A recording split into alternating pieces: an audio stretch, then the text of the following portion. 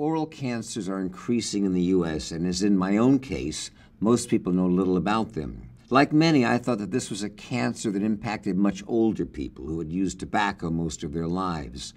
While that's still a problem, the fastest growing segment of the people developing oral cancers are young non smokers. A very common virus, one responsible for the vast majority of cervical cancers, is now identified as a cause of this rapid rise in oral cancers. Thankfully, in a fast, inexpensive, and painless visual and tactile screening, a medical or dental professional can often identify early stage disease. So please, the next time you visit your dentist or your medical doctor, ask for this simple screening. Finding oral cancer in its earliest stages may save your life.